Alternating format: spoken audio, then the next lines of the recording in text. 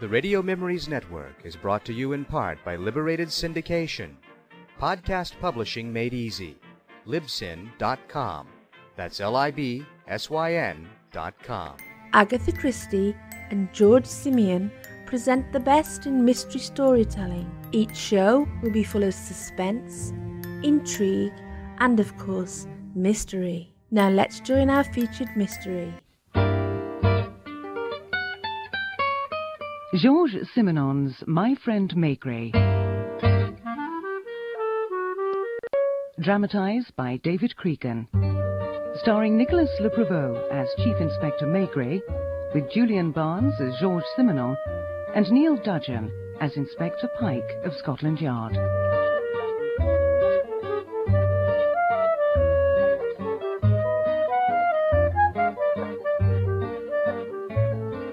Never wrote that you had methods, Chief Inspector, only that you smoked a pipe. Someone once came to study what he called my methods. It was embarrassing because he did it just as I was told I was responsible for someone's murder. I don't remember that. Apparently, a, a tramp, an ex-con, claimed I was his friend, his real friend. And for that, one stormy night, he was brutally killed and mutilated. Just listen then. I know Chief Inspector Maigret. I'll tell you this. He's my friend. I have a letter to prove to all of you that Maigret is my real close friend. What is it? Oh. What do you want then? Your friend can't help you here.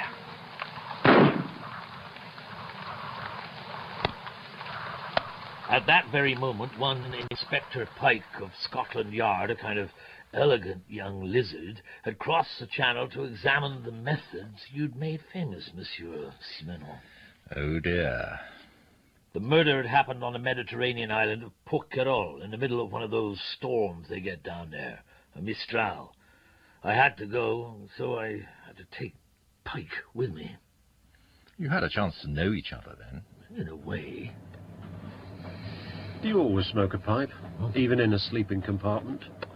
It, uh, it helps me think. I wonder, why have you been writing to this tramp? I haven't. Well, the inspector from Hyères said they'd found a letter from you on the body. That's rather touching. I did write to her. Just once, in prison. When I got him sent down 14, oh, 15 years ago. Marcelin, his name was. Marcelin. A Paris pimp. Well, more than a pimp, really. His girlfriend was a whore, and he used to steal the customers' wallets while... Uh... Does that happen in England? I believe so. Well, you probe less deeply than we do, of course. Anyway, he confessed, and his girlfriend, the whore, Jeanette, scrawny Jeanette, she was a wasted, tubercular little thing. Something oh, fatherly in me. I, I, arranged for her to go to a clinic in the Savoie as a cure, and wrote to the pimp, Marcelin, to tell him what I'd done. I suppose he kept the letter as a kind of bond. Apparently, he settled on this island of Porquerolles when he got out of jail. And that was that. Are you lighting another pipe? Hmm? Oh.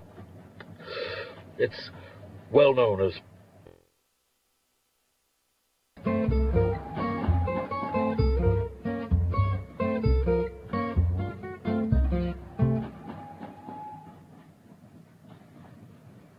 The heat on the Mediterranean coast was baking. The train pulled into the station at Hyères, and we got out into what might have been North Africa. The pretty white buildings surrounded by motionless palm trees and brilliant, unmoving flowers. You almost make me envious, Inspector. Personally, I prefer Paris. You could have sunbathed. I only had my working suit with me, so I sweated like a pig. But Pike was somehow dressed in linen and a straw hat, as if he was going to the plage. What incredible beauty. And so still. I usually spend my holidays in Scotland. Oh, there's Le Chat. The neat little man with the red hair. Local inspector. A beaver for work. Le Chat! Chief! Chief! Hmm? Oh, What a relief to hand over to you. Now, I've got a, a fishing boat to take us to the island where everyone is anxious that you should come as soon as possible, especially me. This is Inspector Pike from Scotland Yard, Lieutenant. Here to learn how the French catch their villains. Oh, very honoured. Is that the island out there? Yes, it is. I have to say, profoundly moving. It was. The sky was a painter's blue, and where it met the horizon, Porquerolles stretched like a rainbow, bright green hills and red and yellow rocks, vibrating gently in the heat haze. Our little boat seemed like a toy as it potted across towards it.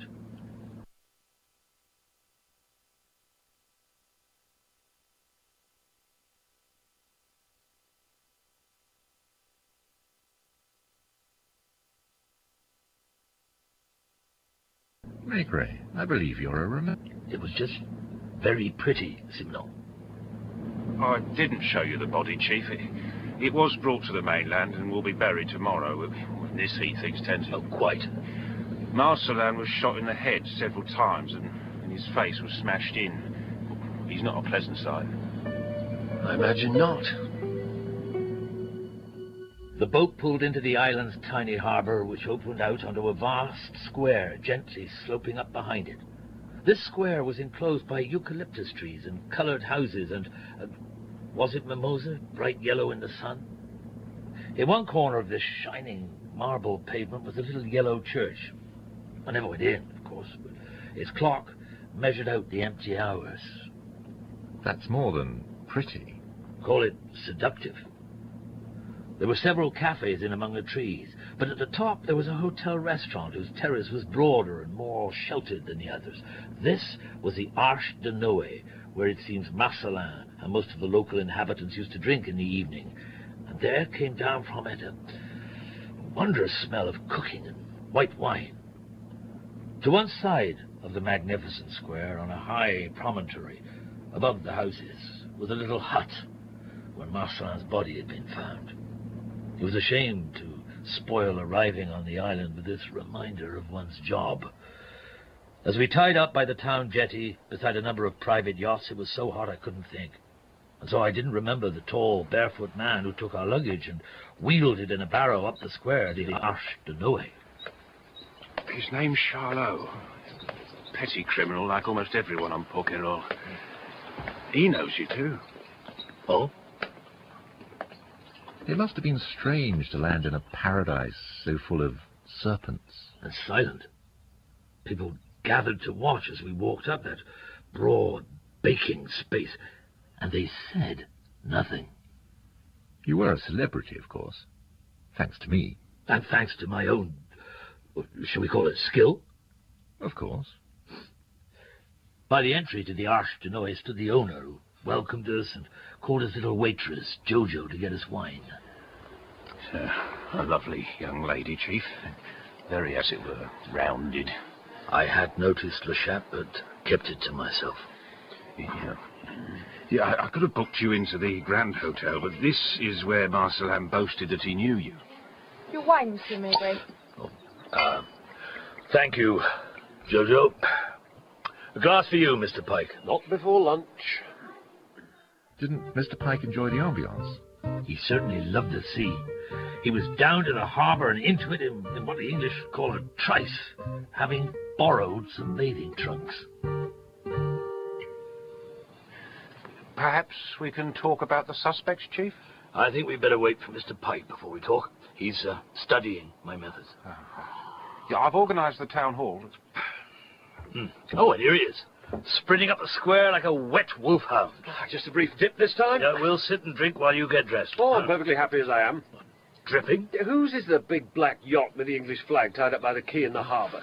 Uh, It's called the North Star, which is, I'm told, a kind of whiskey. It's owned by Mrs. Wilcox and named after her firm. She's immensely rich and also what we call here well preserved.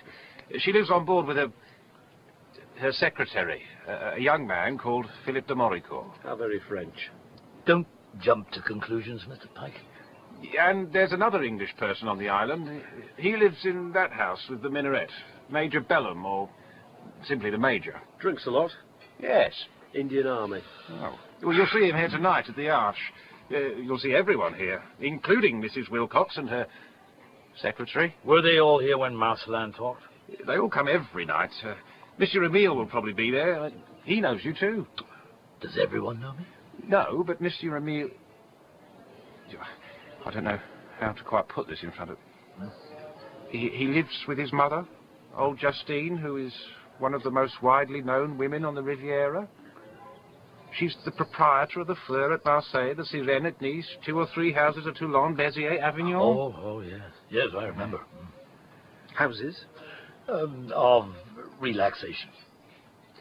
Oh, I see. Uh, Justine is 79 years old, and Emile, her son, is 65. Good heavens, that means she was only 40. They live very quietly. Don't mix much. Look, uh, see, that's Monsieur Emile in the garden of his house. The one set back a little by the church. He's wearing a white suit and a topi. He looks like a white mouse. I did meet him once. Are there any respectable people on the island? Yeah, young Jojo, they say. I- I'm I'm just pointing out the people who were in the arch on the night Marcelin boasted the chief inspector was his friend. You don't take notes, Chief Inspector. I'm listening, Mr. Pike. We passed his boat on the way in. A mess like he was. People fed him and he fished a bit when he took the tourists out in the summer. When he did odd jobs, he was paid in wine. No one knew where he came from. Le Havre. Really? He he sounded more of a southerner. No, he wasn't. Where did you find a letter? In the boat, together with a photo of a woman. Jeanette. I, I've explained to Mr. Pike. Well, don't you want to see it? No. The man was driving me mad in his dripping trunks. Poor Maigret. You never liked the seaside. I tried to be the proper detective and ask questions. There's a green yacht with the little tent for a cabin tied up beside the North Star, if I'm not mistaken. Yes, i- i- it's owned by a man and woman who are new here. They just turned up one morning in the autumn and stayed. He's 24, a Dutch painter called de Graef, and his girlfriend is called Anna. She's also frequently half naked. And, oh, sorry, Mr. Pike, sometimes more than half. When night falls, you can see them both bathing at the end of the jetty without a stitch of clothing. You can vouch for that, Le Well, oh, it's hearsay. It's also said that the rich Mrs. Wilcox does the same thing round her yacht. What? I think you should get dressed before we have lunch.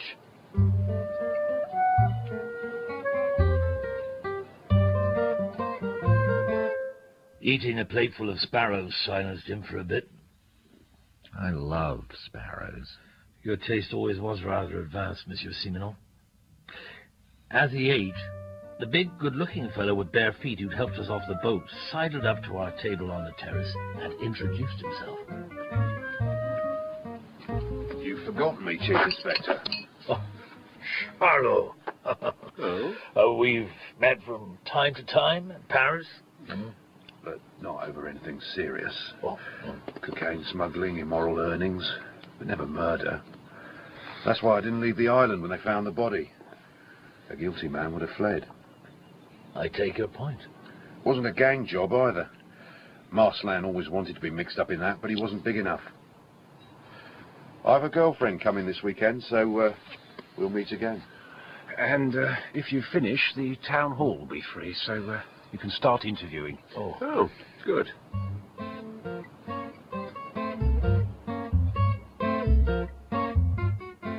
Good. Le Chat rushed round collecting suspects like a sheepdog. All I wanted to do was sit and listen to the locals. But instead, we sat in the musty town hall, Pike in one corner watching me, trying to be an inquisitor. You're too sensitive sometimes.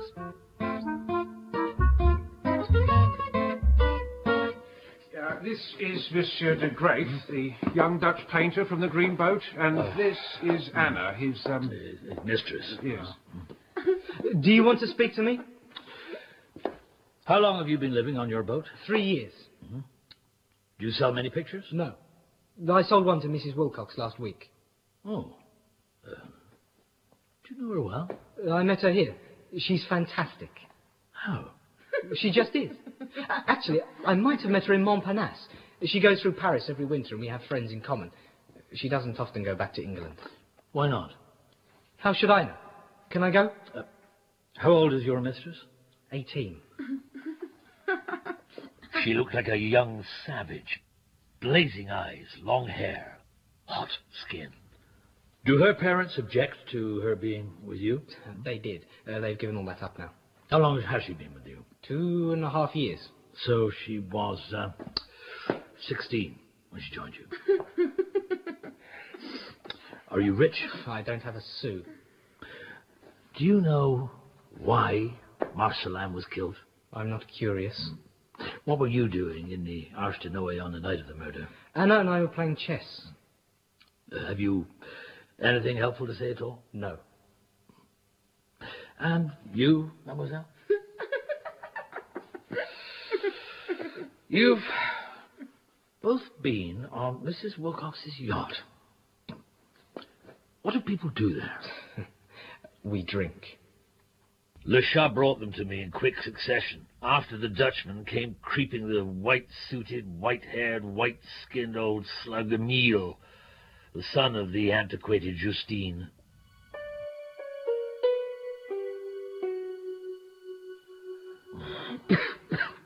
Your pipe smoke makes me breathless. How well did you know Marcelin, monsieur?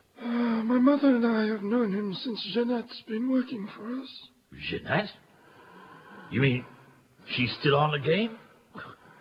She must be 45, 50. Uh, she manages the Sirène in Nice.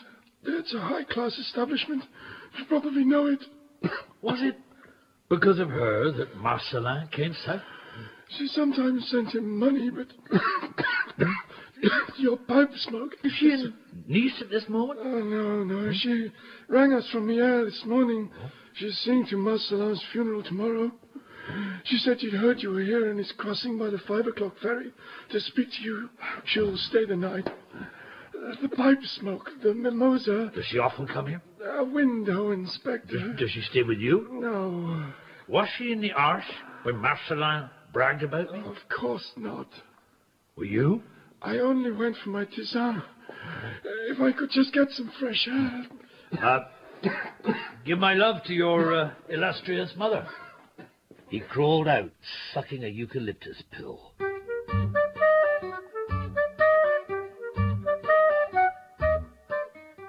This is uh, Monsieur Philippe de Moricourt from the yacht The North Star. I presume this is a mere formality. You're secretary to Mrs. Wilcox? Let's say I'm her guest and sometimes act as her secretary. Is she writing her memoirs? No. Well, does she still have anything to do with her whiskey firm? No. Do you write her private letters? What are you driving at exactly? I'm trying to get some idea of your work. Mrs. Wilcox is no longer young. Exactly. Where did you meet her? At the casino in Cannes. I was losing a fortune. there seems to be a lot of poverty on Porquerolles. Do you know the artist, de Graef? He's been on board several times. We bought a canvas from him. We? Yes. Had uh, Marcelin been on board the North Star? Mrs. Wilcox is a very generous woman. Oh? She adores colourful characters, and so the whole island visited the North Star. Including Monsieur Emile? He isn't colourful. Marcelin was given drinks when he visited? Everyone is always given drinks. As they were in the Arche de Noé on the night of the murder. I'll be clear about this. Then I can go, can't I? That night, we were in the Arche drinking champagne at the Major's expense. You haven't met the Major yet, I suppose, but he is also very generous. He used to know Mrs. Wilcox in England, though they've drifted apart recently, a class thing. Anyway, party, keeping safe from the Mistral, and Marcelin joined Mrs. Wilcox and me for drinks. Charlot was with you too? Oh, yes. Then someone mentioned a girl, Jeanette. And after that, Marcelin said you had been kind to her, and that he was your friend. was he? Once. Oh. Well. Well, it grew late and people began to leave. Except for Charlot, who stayed in the hotel. The Major left with Marcelin, and we followed a little behind. The storm seemed to frighten Marcelin, so he went up to that funny hut instead of rowing back to his boat, while Mrs. Wilcox and I braved the elements in the dinghy. You, uh, you heard the shot that killed Marcelin. The storm stopped anyone hearing anything. May I go now? Uh, did anyone play chess that night? De Graef and his girlfriend. They left before us, pretty sober. You don't normally do interviews, do you? They seem pointless. I only did them because of Mr. Pike. Outside in the square, the fishermen were playing boules, so I went to join them and listen for other things. Five o'clock. There's the ferry boat coming with the mail, and just one woman standing in the bows. Jeanette. The little waif who made you feel fatherly. It was a profound disappointment. The woman in the bows grew clearer and clearer. She had Jeanette's features, but she, she was now fat, respectable, all silk, all makeup, and no doubt heavily scented. You too had been slim, once. She had to be helped down the gangplank, and she got to the hotel rather out of breath. Jeanette! Well, I never. I thought you might want to speak to me, Chief Inspector, considering the way poor Marcelin was murdered. Oh, who's this elegant gentleman? An English colleague, Inspector Pike. Well, uh, I'd like to speak privately in my room, if I may. I'm quite safe these days. Uh, uh, Mr. Pike, please. I need to buy some espadrilles. She barely fitted into the narrow staircase, let alone the tiny room under the rafters by the bathroom. Oh, my feet. Let some air in through the skylight, there's a dear. Oh.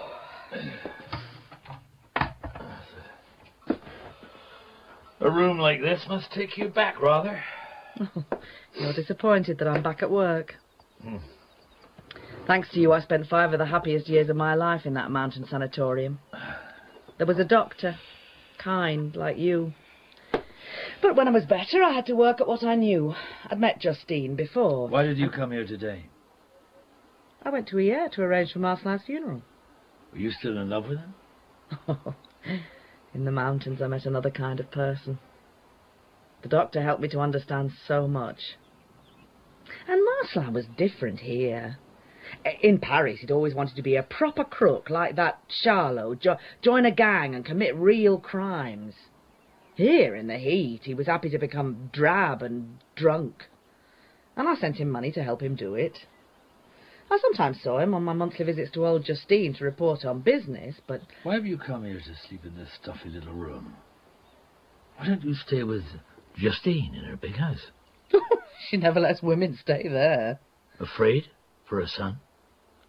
Why don't you light your pipe, like you used to? Is she? Even at his age, he can't do anything without her permission. What else is there, Jeanette? I thought you might be wondering about Emile and his mother. Are you here to tell me that Emile and his mother are innocent? Yes. Why? Marcelin was just a hopeless tramp. Justine and Emile wouldn't have wanted him murdered. Maigret, you always trusted me to tell the truth. Then tell it. You're not like you were, are you? You've gone professional and cold.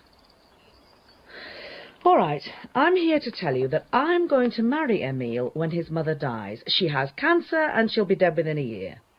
If she discovers our plan, she'll make it impossible by changing her will. You're in love with Emile? Good heavens, no. he needs someone to look after him when she goes because he can't do anything for himself. I need security. He's had me medically inspected to see I'm healthy enough to care for him. And he's promised to leave me a fortune when he dies. Wasn't Marcelin jealous? He thought I was right to provide for my old age. But if he began to blackmail Emile, threatening to tell his mother what you planned, that would have ruined you. Marcelin would never have blackmailed anyone. Really? Well, you have an alibi yourself. The Mistral kept you off the island the night he died? You're thinking of arresting me? Not yet. Then excuse me, Chief Inspector.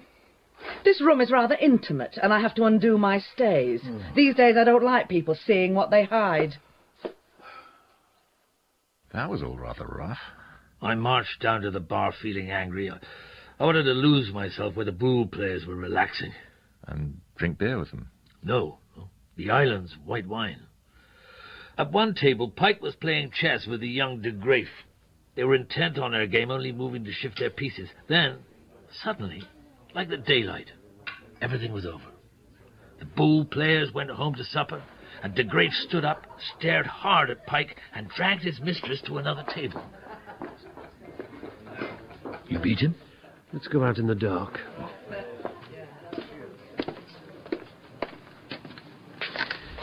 He wanted to win, so he's angry. You don't have young men like him in France. Wild young Frenchmen live life to the full. They don't play chess and read Nietzsche. Hmm, perhaps. That young Dutchman does. He burns in revolt against everything he's ever known, the whole of bourgeois Holland, good or bad. Do you think so? Look at Anna. An intelligent young man takes a pretty but stupid girl away from home. It wasn't desire that made him do that. It was because she was a good girl who went to Mass every Sunday with her mother. You're very quick at deciding about people. People like him feel a great need to defile anything that's clean, and they are dangerous. And perhaps unhappy. Really? He speaks perfect English. He went to one of our public schools. Oh, oh, wow. Jeanette, then. I must tell you that Jeanette revealed, under questioning, that she's engaged to old Emile. I promised to keep quiet about it, since his mother's against it. It was after dinner that the Arche de Noé became home to those oddities who had drifted onto Porquerolles as lost lotus eaters. For example, the tipsy major. You look at the underside of a champagne cork with me, Inspector. What? Pike? We went to the same school. Jolly good floating weather. Monsieur Maigret, you've met my employer, Monsieur Emile. Uh, he, he doesn't like my pipe. Uh, may I have a word? Oh, of course. Tomorrow you go to the funeral in Hyères. So? Inspector Le Chat will accompany you, and make sure you come back. Oh. Where are the people from the North Star? They come out late, by moonlight. They came all right. Mrs. Wilcox was coarse, with flaming red hair. De Moricourt was neat and yet surprisingly plain. Morico, buy the whiskey, and none of the filthy glasses we had last time. So, you're the famous Maigret, are you? Madame, You're fatter than I expected. it happens at a certain age, doesn't it? Pig! A glass for the fat pig, Morico. Oh, that woman. Don't let her ever speak to me. It's all right, Major. I may be poor, but I have my honor. Mm-hmm. As I lay in my small, stuffy room that night under the open skylight, searching for a pattern in the case, the smell of the south pressed in upon me. The salt of the sea, the heat of the square. Come in. Monsieur Maigret. Oh, Jojo. Uh, excuse me. Uh, my pajamas are. Uh, I have to tell you something I've been keeping secret. c- can you reach my dressing gown? Ah, Marcelin spoke to me two days before his death. I was polishing the bar counter when he tottered in, drunk, and told me that if he wanted, he could have a pile a metre high. a pile of what? Well, banknotes, of course. Did he say any more? Only, but what would I do with it? It's so nice doing nothing. Did he ever visit Jeanette's room when she visited? Certainly not. Or any other woman? My cousin Nina, who can't help doing it with anyone. But that's all. Well, thank you, Jojo. I knew there was something Jeanette hadn't told me. If Marcelin could have a pile of notes, she probably knew about that. And if old Justine blocked the marriage to Emile, Marcelin would always be available with that pile. And if he could get that pile whenever he wanted, then so, perhaps, could Jeanette. Especially if Marcelin was dead. Exactly. We sound just like your books, Monsieur Simenon.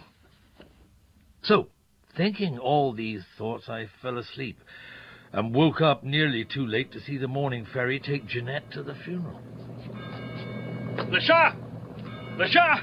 Is she coming? Good heavens, you're in pyjamas, Chief Inspector. Le Chat, don't leave her side. Watch everything that happens. See who she speaks to, who slips her a letter, a package. I thought I'd missed it. Are you getting dressed, Monsieur Maigret? in a minute. Have a nice funeral, and I'll see you this evening. Goodbye.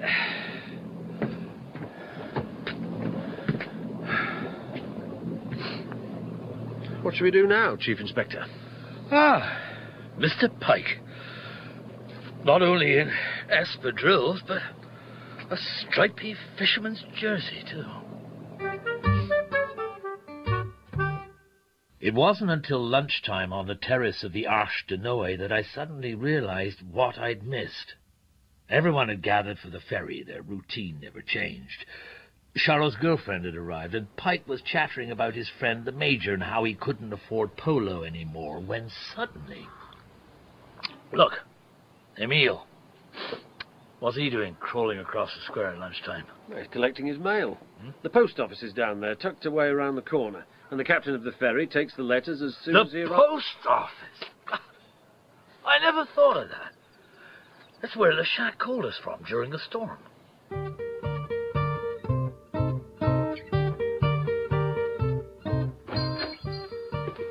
Oh, you've come at last, Monsieur Maigret. I knew you'd want to use my phone, because the one at the Arch is very public, isn't it? You want your police headquarters in Paris?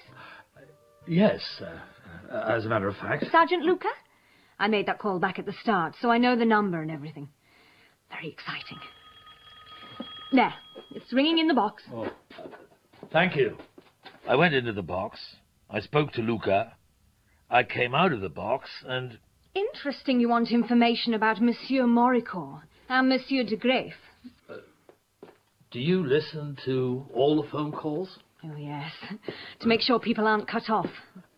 Can you make me out a list of all the calls of the last week I've done it already, because we were required to by the PTT. and, and the telegrams? Not many of those, but there's one here I sent this morning. It's to Angelo in the Rue Blanche, Paris. Send complete information on Philippe de Moricourt, Rue Jacob. Signed Charlot. Now there's a coincidence. Indeed. And how's your English friend? Uh, swimming. This call from Marcelin to Les Sirènes. I, I wonder. To the manager, Jeanette. He said it's not about money. I could have as much as I like. She said you've been drinking. And he said, is there a big Larousse encyclopedia in the house? Then someone came in and I, I didn't hear the rest. Oh. But she replied by telegram, which just by chance I kept a copy of. It said, eh, here, died in 1890. Marcelin read it three times and went out whistling. And what did Charlot say to his girlfriend yesterday? He said, Hello, baby. I'm staying here for a bit of fun, so come and join me. I expect he's having the fun now at the hotel. You're uh, very helpful. I'll wait outside on the bench for my call from Paris.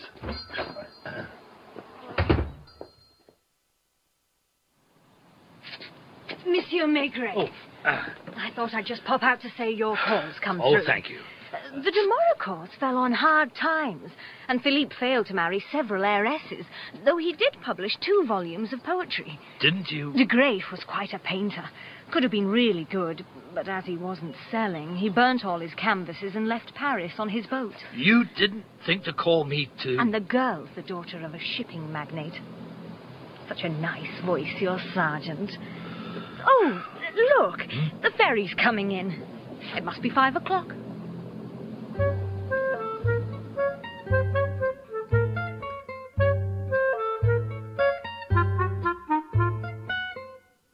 Jeanette had returned on the boat. I went up to the arch with her. again into the stifling room with the squeaky bed springs, and this time helped her with her stays. You lied to me about a phone call and a telegram. Turn round. Smoke your pipe. You didn't mention the Larousse to anyone?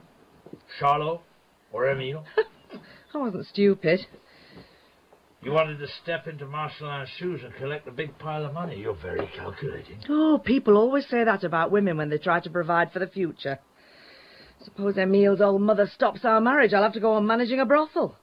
So, if Marcelin's tip was a good one, I could retire to the country and keep chickens. The truth is, poor Marcelin, he said he'd accidentally discovered an extraordinary thing. He wanted to know when a certain painter, Vincent van Gogh, had died. The encyclopedia said 1890. He was amazed. When he rang, he'd never heard of Vincent van Gogh, let alone that he was dead. Now it's all too late, and he's dead too. And I, don't, I must marry that mouldy cheese after all.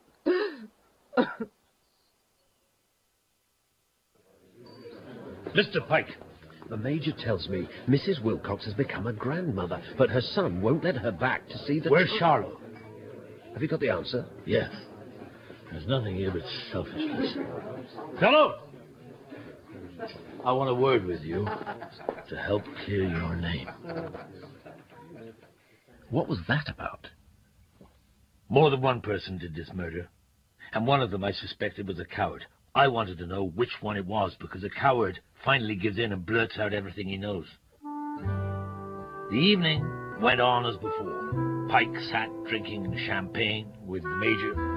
Charlot fondled his girl. Anna drooped over a lover who brooded over everyone. Mrs. Wilcox danced with de Moricourt, her eyes brimming with alcohol. Oh.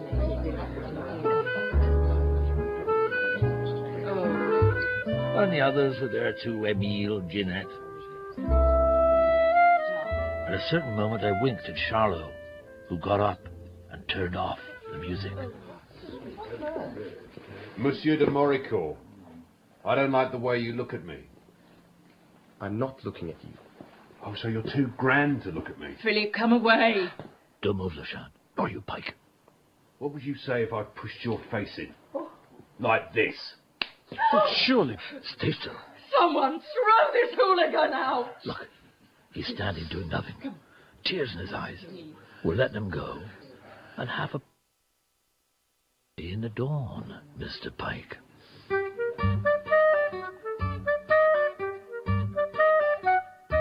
Rode out to the North Star as soon as it was light. I demanded to see Mrs. Wilcox and climbed down to her living quarters. De Moricourt and she were both in pajamas, and there were bedclothes and empty beer bottles everywhere. Philippe, go and dress. I'll handle the inspector. Don't handle me, madam. Just tell me about Mr. de Graef. He's very talented. I've bought several canvases from him for my villa in Fiesole. You've bought a lot of things. Well, there's solace in beauty, don't you think? Did you meet de Graef in Paris? No, here. And Marcelin often visited with him? My boat is open house. He talked a lot about me on the night that he died. He said you were his friend, and he could prove it. When you left the Arche de Noé, was Marcelin with you? He left us at our dinghy because of the Mistral. We only just managed to reach the yacht, and all night, very cosy. Did de Moricourt go out again? If you were home in England, Mrs. Wilcox, I would have to remind you that anything you say could be used in evidence against you. I'm innocent. We're all innocent. Did Philippe go out again? Of course not. He was in bed If with... you've anything to ask, Inspector, I'm here. Mrs. Wilcox, what paintings do you have in your villa? I've a Renoir, a Degas, a Monet. A Van Gogh? I've just bought a very small Van Gogh. When? Three days ago. And poor drunken Marcelin saw de Graef painting it and signing Van Gogh's name. No, Philippe found it in a shop. Didn't you, Philippe? Philippe? Say something, Philippe. Say something. I must take your secretary away, madam. To the town hall. He couldn't have done the murder. He didn't leave me all night. He's wonderful.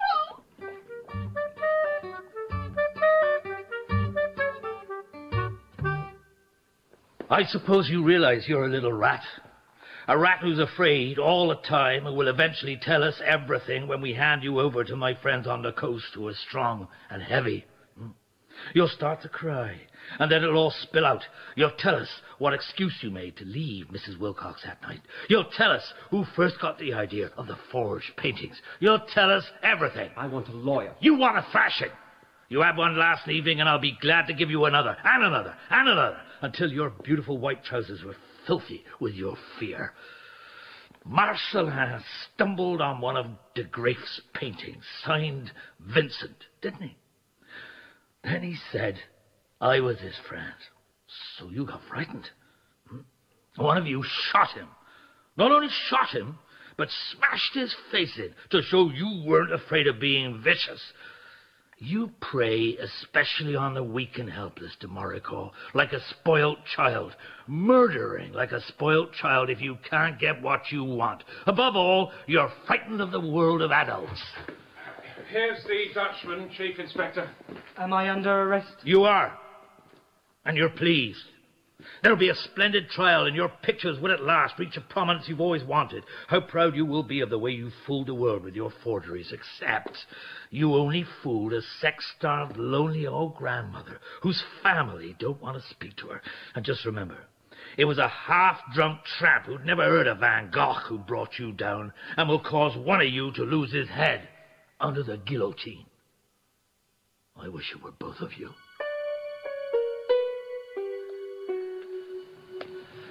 Rather heavy, weren't you?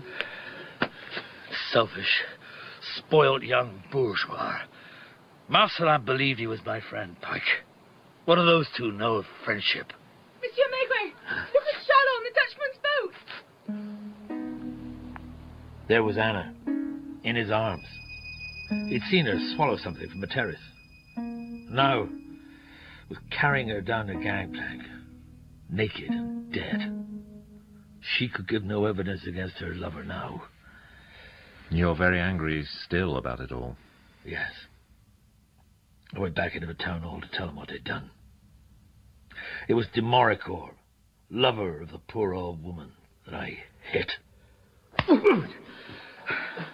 there. They wouldn't do that in England, would they? And I've news for you, de Graef.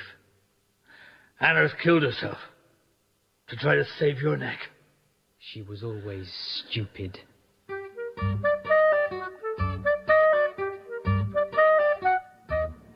We left on the midday ferry. I've never missed the island.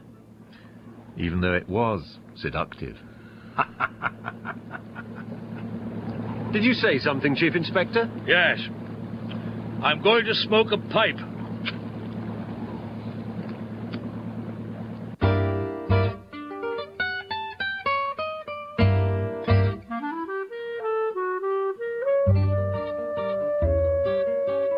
Georges Simenon's My Friend Maigret was dramatized by David Cregan from the translation by Nigel Ryan of Mon Ami Maigret. Nicholas Le Prevost was Chief Inspector Maigret and Julian Barnes, Georges Simenon. Inspector Pike was played by Neil Dudgeon and Le Chat by Jonathan Keeble. Mrs. Wilcox was played by Gilly Bond and Jeanette by Maggie McCarthy. De Graef, Richard Firth. De Moricourt, Simon Donaldson, and the postmistress, Carla Simpson. Marcelin and Monsieur Emile were played by Ewan Bailey. Jojo and Anna by Emma Williams. Charlot by Martin Hyder, and the Major by Bunny Reed. The music was by Lucinda Mason Brown. The director was Ned Chaillet.